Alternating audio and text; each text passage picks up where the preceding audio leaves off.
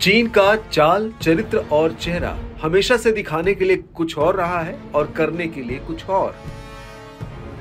US की एक खुफिया रिपोर्ट में यह खुलासा हुआ है कि रूस यूक्रेन वॉर में चीन सिर्फ़ दिखावे के लिए न्यूट्रल रवैया अपना रहा है।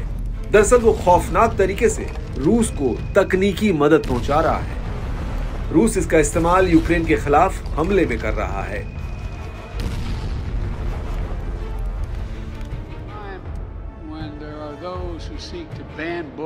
यूएस के डायरेक्टर ऑफ़ नेशनल इंटेलिजेंस के हवाले से सीएनएन की रिपोर्ट के मुताबिक, चीन न सिर्फ़ यूक्रेन के खिलाफ मॉस्को को युद्ध में इस्तेमाल में आने वाली तकनीक मुहैया करवा रहा है, बल्कि खतरनाक जंगी हथियार भी दे रहा है। Support provided by the People's Republic of China to Russia नाम के प्रकाशित इस रिपोर्ट में कहा गया है कि चीन ने मार्च के महीने में 12 मिलियन डॉलर के ड्रोन्स और ड्रोन्स पार्ट रूस को एक्सपोर्ट किए। जंगी सामान बनाने वाली चीन की सरकारी कंपनियों की ओर से रूस की सरकारी कंपनियों को बड़ी तादाद में ऐसे सामान निर्यात किए जा रहे हैं, जिनका दोहरे मकसद से इस्तेमाल किया जा सकता है। चीन रूस को नेविगेशन जैमिंग और फाइटर जेट से जुड़े पार्ट समेत प्रतिबंधित और विनाशकारी साजो सामान तकनीक उपलब्ध करवा रहा है। साल 2021 से सेमीकंडक्टर से जुड़े निर्यात में भी भारी उछाल आया है। खुफिया रिपोर्ट के मुताबिक, चीन यूएस में बने कई सौ मिलियन डॉलर के सेमीकंडक्टर रूस को उपलब्ध करवा चुका है।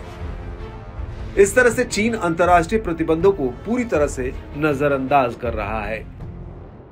हालाँकि खुफिया रिपोर्ट इस बात को लेकर श्योर नहीं है कि चीन जानबूझकर यूएस को चुनौती दे रहा है, या फिर प्रतिबंधों को तोड़ने का कोई छुपा हुआ तरीका इस्तेमाल कर रहा है। पर यह तो तय है कि फरवरी 2022 से ही, यानी रूस यूक्रेन युद्ध शुरू होने के बाद से ही चीन रूस की पार्टनरशिप तेज़ी से मज़बूत हुई है। लेकिन वॉशिंगटन में सीएनएन को दिए इंटरव्यू में चीनी एम्बेसी की ओर से प्रवक्ता लियू पेंग्यू ने खबर को सिरे से खारिज करते हुए कहा कि चीन शांति वार्ता का हिमायती है और राजनीतिक रूप से विवाद को हल करने की कोशिशों में लगा हुआ है। उन्होंने इस बात से भी इनकार किया कि उसने युद्ध में शामिल किसी भी पार्टी को कोई हथियार, मुहैया करवाया है, या कोई ऐसी तकनीक उपलब्ध करवाई है जो दोहरे मकसद से इस्तेमाल में लाई जा सकती है और प्रतिबंधित है।